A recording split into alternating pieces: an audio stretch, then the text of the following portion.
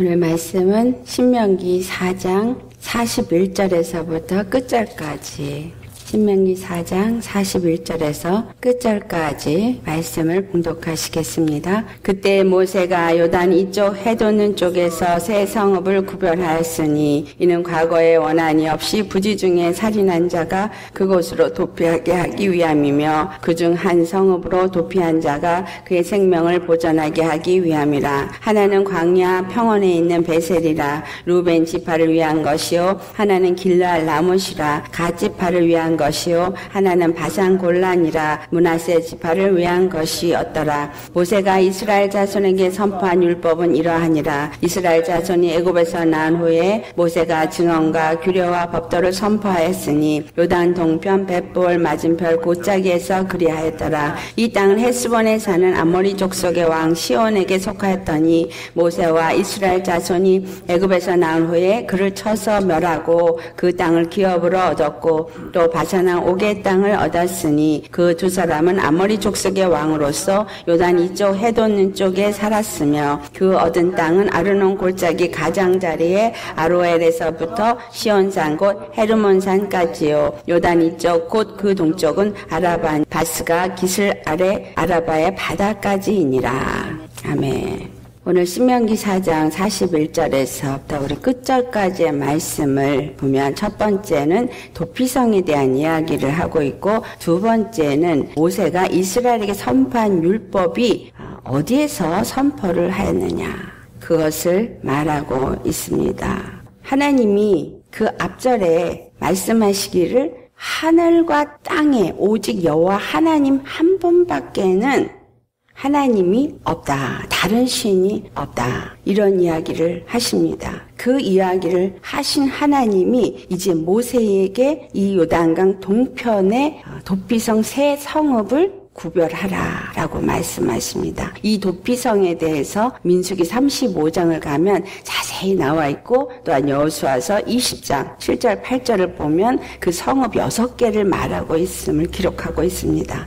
요단강 동편의 새 성읍 또한 요단강 저 서편의 새 성읍을 구별하여서 도피성으로 하게끔 말씀하고 있습니다. 자, 여호수아서 20장 7절에서 8절에 가보면 여섯 성읍을 말하고 있는데 동편 이쪽에는 베셀이라는 곳과 또 길랄 라못, 바산 골란을 주고 서편에는 갈릴리, 데레스와 또 세겜과 헤브론 이렇게 여섯 성읍을 주고 있습니다. 자, 이 여섯 성읍의 이름이 의미가 참 재미있습니다. 이것이 왜 이렇게 이런 의미를 하나님이 지정하셨느냐? 첫 번째로 루벤 지파가 가진 그 기업 중에서 베셀이라는 것을 택한 이 베셀의 이름은 금강석 같은 걸 표현을 갖고 있어요. 금강석의 의미. 근데 이 금강석은 아주 어떤 의미를 갖고 있냐면 또 다른 의미로 멀리 떨어져 있는 요새를 말하고 있어요. 그래서 베실은 요새를 말하고 있다. 근데 그 요새는 모든 것에서 분리되어진 아주 강한 산성인 요새를 의미합니다. 또 가치파에 있는 기업 중에서 구별된 길랄 라모 성읍은 가장 높은 것이라는 의미를 갖고 있으면서 이것은 값으로 매길 수 없는 가장 가치 있는 것이라는 의미를 갖고 있어요. 또 문하세 지파 중에서 가진 땅에서 바산 곤란이라고 구별한 이 성읍의 곤란이란 뜻은 기쁨과 환희를 의미하고 있어요. 그 다음에 요단강 서편에 있는 새 성읍 납달리 땅에 있는 갈렐리 게데스라는 곳의 게데스라는 의미는 거룩한 장소, holy place. 그러면서 sanctuary라는 뜻을 갖고 있어요. 또 다른 하나 에브라임 지파가 가진 땅에서 세겜무라고 구별된 성읍의 이름은 어깨 정사 이런 의미를 갖고 있고 또 유대 지파 중에서 헤브론이라는 그 성읍의 이름은 연합이라는 association, 연합 이런 의미를 갖고 있습니다. 자, 이 여섯 가지 성읍을 우리가 살펴볼 때 갈릴리 게데스가 제일 위에 있는데 이것이 거룩한 장소예요. holy place. 근데 sanctuary라고 말하고 있어요. 거기서부터 밑으로 내려오면서 왼쪽으로는 그 세캠 어깨 정사라고 말하는 것이 있고 또 오른쪽에서는 하나님이 멀리 떨어지게 한 그 요새 또 길랄 나무 정말 값으로 매길 수 없는 그런 가치 있는 높은 것 그리고 나서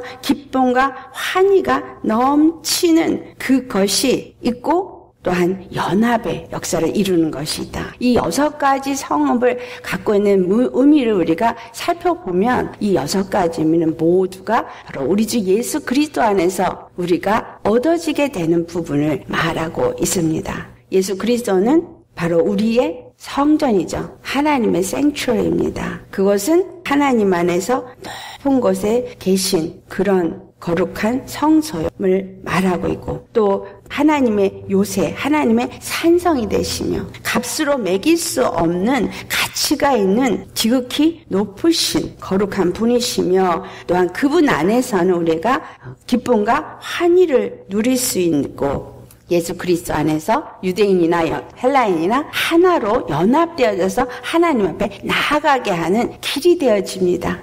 그리고 예수 그리스도가 보좌에 앉으셔서 모든 것을 다스리는 정사가 되심을 이 도피성이 말하고 있다라는 이야기예요. 무엇을 말하고 있습니까? 시편 46편 1절 말씀에 하나님은 우리의 피난처시요 힘이시요 환란 가운데 우리의 도움이시라고 어, 다윗이 고백을 합니다. 바로 여호와 하나님은 우리의 피난처가 되십니다. 우리의 피난처가 되시고 우리의 도움이 되시고 우리를 환란 가운데서 어, 도움을 주시는 그 하나님, 그 하나님이 어떻게 우리의 피난처가 되시고 어떻게 우리가 아, 받을 수 있는 도움이 되고 우리의 힘이 될 수 있느냐.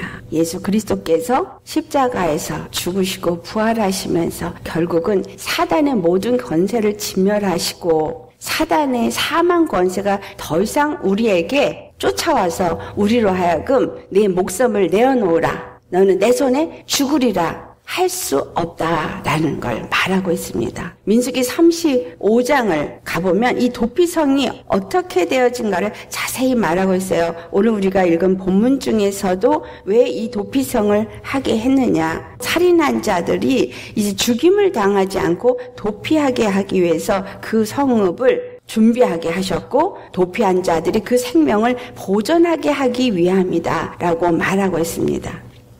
민숙이 35장을 가보면 그 35장에 도피성을 만들 때에 어, 요단강 동편에만 만든 것을 얘기하지 않고 서편에도 만드는데 이 서편의 것도 너희가 요단강을 건너가면 가나안 땅에 들어서거든 도피성을 정하라라고 11절에 말합니다. 건너가서 아직 얻지도 않은 상태에서 도피성을 정하라. 도피성이 요단강 동편에 있고 도피성이 요단강 서편에 있는 그 부분은 우리의 육적인 부분에서나 우리의 혼적인 부분에서나 영혼의 상태에서나 우리 주 예수 그리스도는 단 한 분 우리의 피난처가 되신다라는 이야기입니다. 그 여섯 성읍을 두게 하신 것은 그 살인자로부터 보호하심을 받도록 그 성읍을 만들게 합니다. 민수기 35장 25절을 보면 피를 보복하는 자의 손에서 살인자를 건져내어 그가 피하였던 도피성으로 돌려보낼 것이요 그는 거룩한 기름 봄을 받은 제제사장이 죽기까지 거기 거주할 것이니라 라는 말씀이 있습니다. 자 대제사장 그러면 멜기세덱 대제사장 유다 지파 중에 오신 우리 주 예수 그리스도가 영원한 우리의 대제사장이 되심을 히브리서 7장에 말씀하고 있습니다. 그 대제사장이 죽기까지 도피성은 피난처가 되어질 수 있습니다. 우리 대제사장이 이 땅에서 피 흘려서 죽으심으로 인해서 우리에게 주어지신 은혜가 무엇입니까? 바로 죽음에서부터 우리를 건져내셨다라는 거예요. 28절을 보면 살인자가 대제사장이 죽기까지 그 도피성에 머물러 할 것이라 대제사장이 죽은 후에는 그 살인자가 자기 소유의 땅으로 돌아갈 수 있느니라 라고 말하고 있습니다. 그 당시에 자기가 피를 흘려 살인의 죄를 졌을 때 있었던 그 대제사장이 1년이 지나면 대제사장의 직분이 바뀌어서 다른 대제사장이 생기겠지만 그 당시에 자기가 그 도피성으로 피난해 왔을 때 있었던 그 대제사장이 죽을 때까지입니다. 그리고 그 대제사장이 죽은 다음에는 다시 돌아가게 되어진다. 본업으로 이것을 주신 그 의미가 무엇이냐를 우리가 알아야 합니다. 그 의미는 바로 우리 주 예수 그리스도 대제사장으로 오신 그분이 십자가에서 죽으신 이후에는 더 이상 그 누구도 살인의 죄를 물을 수 없다라는 의미입니다. 그래서 내가 내 본업으로 돌아가서 그 죄의 어떤 저주에서부터 노임을 받을 수 있게 된다라는 의미를 우리에게 가르쳐 주고 있는 겁니다. 도피성이 첫 번째는 그 보수자로부터 피할 수 있는 길이 되어지시고 피난처가 되어지도록 그 도피성이라는 것을 허락했어요. 하지만 그 대제사장이 죽은 후에는 모든 것이 다 없어진다라는 것을 말하고 있는 거잖아요. 그래서 이 의미가 율법이 대제사장이 죽은 후에 그들이 자기 성으로 돌아갈 수 있게 한 이 의미는 바로 대제사장으로 오신 우리 예수 그리스도가 우리의 모든 죄를 그 몸에 짊어지고 십자가에 죽으심으로 우리는 모든 죄에서부터 자유함을 얻게 되어지고 그 죄가 더 이상 우리를 쫓아다니지 않게 되어진다라는 것을 의미하고 있는 것입니다. 이 땅을 주자마자 도피성을 만들게 했어요. 그리고 그 도피성을 동쪽에도 주고 서쪽에도 주게끔 했다. 언제 이 도피성을 주었어요? 시온 왕과 바산 왕의 땅을 정복한 후에 그 도피성을 세우셨다. 이 말은 예수 그리스도가 우리의 도피성이 되어지고 예수 그리스도가 우리의 피난처가 되어지시는 그 부분은 내가 예수님을 영접하고 그리고 예수님 안에서 어떤 자가 되었을 때 이 도피성이 우리에게 주어지는가를 또한 말하고 있습니다. 그것이 그 밑에 율법을 주신 것에 대한 이야기를 우리가 알 수 있습니다. 이 규례와 법도를 주신 것이 바로 요단 동쪽 뱃볼 맞은편 골짜기에서 그리하였더라. 라고 오늘 본문 46절에 말하고 있습니다. 뱃볼이라는 것은 바알 부호를 섬기는 곳의 맞은편이라는 것을 우리가 아셔야 돼요.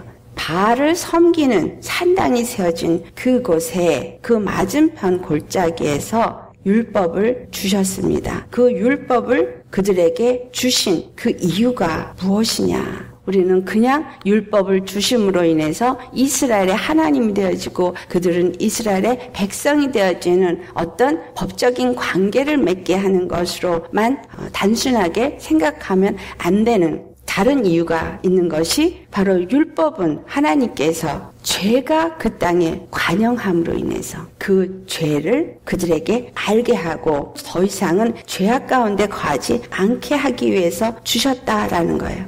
율법이 요단강 동편의 땅을 그들이 취하게 되어질 때 율법을 주셨다는 거예요. 다시 말하면 기업을 갖는 자가 되어지게 될 때, 하나님의 나라로서 하나님의 것으로서 시작되어질 때에 율법을 주었다라는 거죠. 로마서 5장 13절에 사도 바울이 말하기를 죄가 율법이 있기 전에도 세상에 있었다라고 말하고 있습니다. 그런데 율법이 없었을 때에는 죄를 죄로 여기지 아니했다. 그렇다면 하나님이 그 율법이 없었던 그 이전에 아브라함의 때에도 율법 때문에 아브라함이 의롭다함을 얻은 것이 아니라 하나님을 그가 믿음으로 의롭다함을 얻었다. 그가 의롭다함을 얻은 것은 하나님의 말씀대로 그가 순종하는 그 믿음, 약속을 믿고 끝까지 믿고 나아간 그 순종이 그에게 의롭 여겨졌다라고 말씀하고 있습니다. 이스라엘이 이제 동편의 땅을 차지하고 이제 서편의 땅을 차지하러 가기 때문에 율법을 준 것이 아니라는 거예요. 하나님의 나라로 세워지기 때문에 율법을 준 것이 아니라 하나님의 백성으로 하나님의 기업을 주고 하나님과의 온전한 관계가 주어질 때 그들로 하여금 더 이상 죄악 가운데 거하지 않게 하기 위해서 율법을 주셨다라는 거예요. 우리에게 율법을 주신 이유는 정확하게 죄를 깨닫게 하기 위하며 죄를 짓지 않게 하기 위함이다. 라는 거죠. 이 죄를 깨닫고 그 죄를 지은 자가 피할 수 있는 도피성을 준비하시고 또한 죄를 짓지 아니하도록 이 율법을 그들에게 주셨다라는 거예요. 그 땅을 정복하고 도피성을 구별하기 전에 율법을 먼저 주시고 그리고 율법을 그들이 혹 어겨서 살인의 죄를 지었다 할지라도 하나님은 그들을 피할 수 있는 피난처가 되어 주신다라는 거예요. 그런데 이 살인자는 일부러 살인을 한 자가 아니라 부지불식 간에 자기가 알지 못하는 순간에 죄를 지은 상태를 말하고 있습니다. 이 도피성이 주어지는 의미는 어떤 육적인 죄의 어떤 결과를 말하는 것이 아니라 우리 육에 지은 죄일지라도 그 육이 지은 죄가 마귀에 의해서 나도 모르게 육으로 지은 죄, 또한 내 마음이나 어떤 생각이 살인의 죄를 지었을지라도 그것이 성령 안에서 변화된 심령 가운데서 지은 것이 아니라 아직은 연결지 못해서, 아직은 알지 못해서 사단의 영에 의해서 지은 죄에 대해서는 하나님이 그것을 다 용서하신다라는 거예요. 이 도피성이 주는 의미는 바로 그와 같은 겁니다. 우리가 이른해 일곱 번의 죄를 지을지라도 하나님은 그들을 용서할 길을 주신다라는 거예요. 도피성을 주셔서 율법을 주시고 죄를 깨닫게 하시지만 반드시 죄를 깨닫고 그들이 회개하고 돌이켜 온다면 그래서 이 바알 부올이 있는 그 산당 맞은편에서 율법을 주시는 거예요. 그 율법을 보게 하는 거죠. 율법 앞에 서게 하는 거예요. 그리고 나서 그 자기가 세상에 우상을 섬겼다는 그 길에서부터 돌이켜서 그 아모리 족 속의 땅에 속하였던 자가 돌이켜서 하나님의 사람이 되어져서 그 율법 앞에 죄를 회개할 때 도피성에 들어가서 반드시 하나님으로부터 피할 수 있는 길을 만들어 주신다라는 거예요.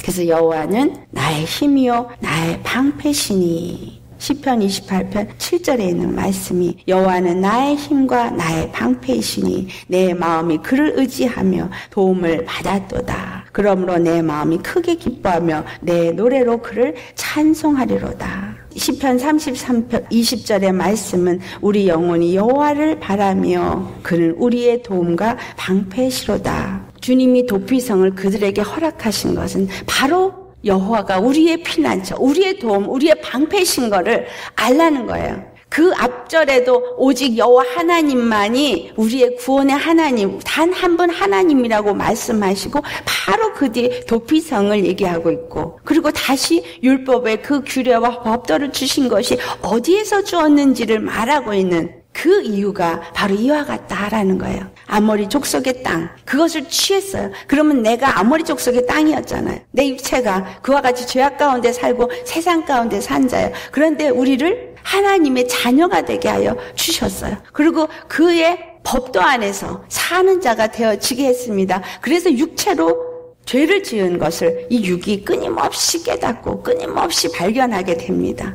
또한 동편으로 돌아가서 우리가 요단강을 건너가서 우리 혼이 우리 생각과 마음이 하나님 앞에 범죄한 것을 또 율법 앞에서 깨닫게 되어집니다. 이 육으로든 우리 혼적인 부분으로든 영적인 부분으로든 이 죄악 가운데 있었던 우리들이 율법을 가지고 내가 있었던 땅, 그 아모리 족속의 땅에서부터 이제 하나님의 백성이 되어졌고 그 하나님의 기업이 되어졌으니 이제 율법을 받은 자가 되어졌으니 율법이 반드시 지배를 하게 되어지는데 이것은 죄를 깨닫고 그리고 죄에서부터 벗어날 길을 주시는 하나님이심을 알게 하기 위함이다라는 거예요. 율법 앞에 그래 있어서 죄를 깨닫고 맨날 죄의 죄의식 속에서 고통하고 그 죄의 두려움에 떨고 있고 죄악에 눌려 있는 그러한 사람이 되어지지 마시고 하나님이 준비하신 이 도피성으로 우리는 들어가라 이거예요. 여호와는 우리의 피난처시니까. 그런데 그것이 대제사장이 죽기까지 어떤 제한적인 존재가 있는 것 같이 말하고 있지만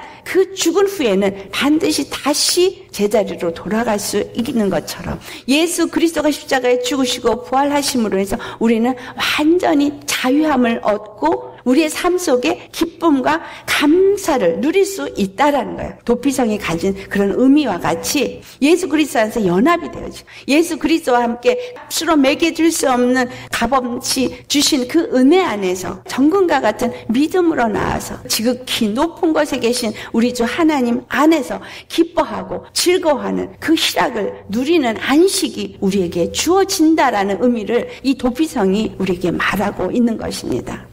그분이 바로 무엇이 될 때? 우리의 정사가 되어질 때. 세겜이라는 도시가 전에도 제가 말씀드렸지만 에벨산과 그림심산 사이에 있다 그랬어요. 에벨산은 저주를 선포하고 그림심산은 축복을 선포하는 산으로서 저주와 축복이 하나님의 정사 그 공의 안에 있다라는 거예요. 선과 악을 판단하시는 그 우리 주 예수 그리스도가 십자가에 죽으시고 부활하시면서 선과 악을 판단하시는 공의 하나님 재판관이 되어 지셨고 그 분 안에 우리가 피한 처가 돼서 우리가 피할 때에는 그 누구도 우리를 정죄할 수 없다라는 거예요. 죄와 사망의 법에서 우리를 자유케 하시고 그리고 생명의 성령의 법이 우리를 지배하게 된 것입니다. 그래서 우리는 예수님 안에서 우리에게 주신 이 율법이 도대체 왜 주었느냐라는 것을 아셔야 합니다. 출애굽기 16장 4절 말씀을 하나 찾아보시겠어요? 출애굽 16장 4절 말씀. 찾으셨으면 같이 봉독합니다. 그때 여호와께서 모세에게 이르시되 보라 내가 너희를 위하여 하늘에서 양식을 비같이 내리리니 백성이 나가서 일용할 것을 날마다 거둘 것이라 이같이 하며 그들이 내 율법을 준행하나 아니하나 내가 시험하리라. 만나를 땅에 내려 주시면서 뭘 한다는 거예요? 율법을 지키는지 아니 지키는지 시험하리라. 그런데 이 만나를 예수님이 요한복음 6장에 오셔서 51절 말씀에 나는 하늘로서 내려온 생명의 떡이라 라고 말씀합니다.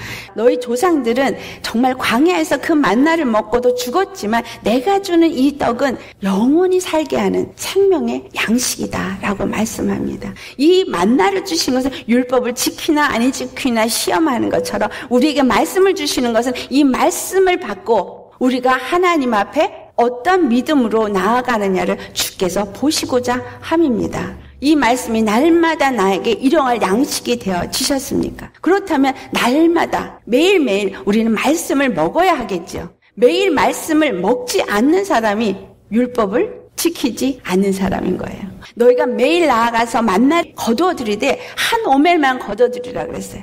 더 거두지도 말고 덜 거두지도 말고 그들이 많이 거둬도 그 한 오멜이 다 그냥 한 오멜이 돼서 남지도 않고 부족하지도 않다 그랬어요. 근데 그 남지도 않고 부족하지도 아니하는 이것이 요한복음 6장에 예수님이 그 만나 그 생명의 떡이라고 하면서 그 앞에 무엇을 말하고 있냐면 오병이어 이적이 기록되어지고 있습니다. 그래서 그들이 먹었을 때에 부족함이 없었다 그랬어. 모두가 배부르고 부족함이 없다 그랬어요. 이 한 오멜은 부족함이 없는 하나님의 하루 양식을 말하고 있어요. 근데 이 한 오멜이 무엇을 말하고 있느냐? 출애굽기 16장의 34절을 보면 그 한 오멜이 무엇을 말하는지를 얘기하고 있는데 그것이 에바 10의 1더라. 근데 레기 5장 11절을 가면 그것이 바로 고운 가루 속죄 제물로 하나님 앞에 드려지는 것이 에바 10의 1. 라는 거. 한 오멜에 만나는 에바 10의 1. 속죄 제물이요. 이것은 무엇을 말하고 있냐면 하나님의 언약계 앞에 드려진 우리 주 예수 그리스도를 말씀한다라는 거예요. 우리 주 예수 그리스도 한 오멜이 되시는 분은 우리의 하루 양식인 말씀이다라는 거예요. 우리는 매일같이 그 한 오매를 취하면서 너희가 내 율법을 지키는지 안 지키는지 내가 보리라. 너희를 시험하리라 한 것처럼 오늘도 우리는 매일매일 말씀의 양식을 먹어야 합니다. 그 이 말씀의 양식을 먹는다는 것은 뭐예요? 신명기 8장 3절 말씀. 사람이 떡으로만 사는 것이 아니라 여호와 입에서 나오는 말씀으로 살리라. 예수 그리스도도 시험을 받으셨을 때 돌을 떡덩이가 되게 하라 할 때도 그 말씀을 갖다 비유로 갖다 하셨습니다. 자, 우리가 이 땅을 사는 동안에 매일매일 여호와 하나님을 만약에 정말 나의 도움, 나의 피난처라고 여기는 율법을 가진 하나님의 백성이라면 매일같이 하나님의 말씀에 순종한다라는 거예요. 매일같이 그 말씀을 먹어야 된다는 거예요. 그 말씀을 걷어들여야 합니다. 할렐루야. 그래서 그 말씀을 매일 먹고 먹는다는 얘기는 하나가 된다는 얘기예요. 묵상하고 그것이 내 것이 되어지도록 그 말씀에 순종할 때에 그 말씀이 생명의 떡으로 내 안에 와서 오늘 하루의 양식이 되어지고 바로 율법을 지킨 자가 되어지고 아멘. 예수님이 율법을 지키신 분이에요. 완성하신 분이에요. 우리는 예수 그리스도 안에서 바로 죄를 깨달았습니까? 그러면 하루 양식인 그 만나가 되신 생명의 떡, 우리 주 예수 그리스도를 먹어야 되는 거예요. 십자가의 복음을 먹어야 되는 거예요. 이 십자가의 말씀 앞에 또 나아가고 또 나아가는데 매일 나가야 된다는 거예요. 매일 이 말씀을 우리가 먹어야 하고 매일 이 말씀 앞에 서야 한다는 거예요. 이 말씀이 뭐기 때문에 우리의 도피성이기 때문에 우리를 죄에서 건지신 도피성이기 때문에 그래서 이 말씀 안에서 자유하라는 거예요. 이 말씀 안에서 안식하라는 거예요. 할렐루야. 주님이 이 모든 일을 다 이루셨고 이제 우리 믿는 모든 자들이 그 기업 가운데에서 우리 육에서나 우리의 어떤 영혼에서나 완전한 쉼을 주시기 위해서 도피성이 되어 주신 분이 바로 우리 그리스도 예수시다라는 겁니다.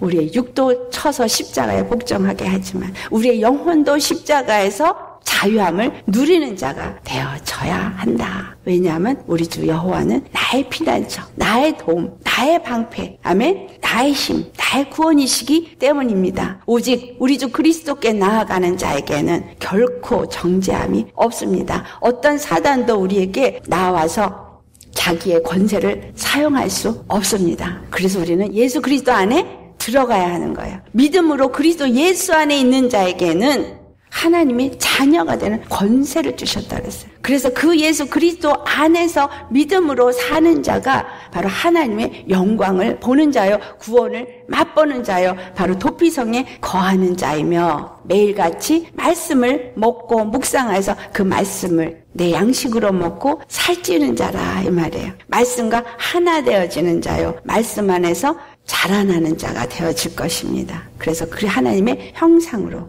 그리스도의 형상으로 아름답게 지어지는 것이 바로 하나님의 나라로 세워지는 것입니다. 이 이스라엘에게 요단강 동편의 땅을 정복하고 또 서편의 땅을 정복하라 하면서 도피성을 얘기하시고 이 율법을 주신 이유가 바로 이것입니다. 오늘도 우리가 이 말씀 안에서 주님이 주신 의미를 내 말씀으로 새기시고 날마다 주의 말씀 묵상하시고 그 말씀 안에서 어, 사는 자가 되시기를 축원합니다. 그럴 때에는 고린도전서 10장 13절에 있는 말씀처럼 사람이 감당할 시험 밖에는 너희가 당할 것이 없나니 오직 하나님은 믿부사 너희가 감당치 못할 시험 당함을 허락하지 아니하시고 시험 당할 즈음에 또한 피할 길을 내사 너희로 능히 감당하게 하시느니라. 주님의 말씀이 내게 나올 때 힘들 것도 있어요. 힘든 말씀도 있습니다. 순종하기 힘든 말씀. 하지만 반드시 주님은 피할 길을 우리에게 주시는 하나님.